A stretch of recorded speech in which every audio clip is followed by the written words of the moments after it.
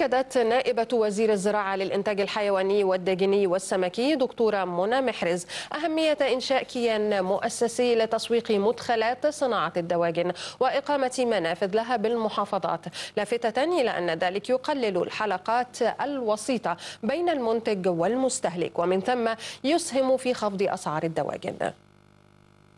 الحقيقة هي إنشاء شركة للتسويق سواء تسويق مدخلات صناعة الدواجن زي الذرة والصويا وخلافه أو كمان بتساهم في تسويق المنتج الداجني سواء البيض أو الفراخ. المبردة أو المجمدة وده عن يعني الخطة إن هم ينشئوا منافذ بالتعاون مع المحافظات في أماكن لعملية تقليل الحلقات الوسيطة ما بين المنتج والمستهلك.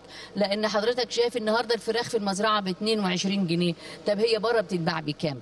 بتوصل للمستهلك بكام؟ فإحنا عندنا مشكلة الحقيقة في سلسلة ما بعد الإنتاج لحين وصولها للمستهلك. فدي آلية. كمان صغار المربيين بيعانوا مثلا من سعر الذرة وسعر, وسعر الصويا لأن هو النهاردة برضو بيعدي المستورد بياخد حلقات متصلة لغاية ما يوصل للمنتج الصغير وبالتالي بيبقى الأسعار غالية وبالتالي منتجه بيطلع غالي ومش منافس.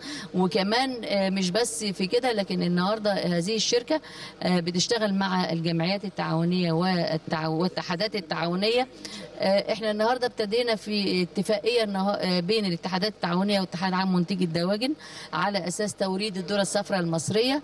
وإن شاء الله يكون البداية السنة دي لأن برضو السنة اللي فاتت اشتغلنا كتير وما تمش توريد لأن الجمعيات ما كانتش شريك السنة دي الجمعيات شريك. بحث المهندس طارق الملا وزير البترول والثروة المعدنية مع سفير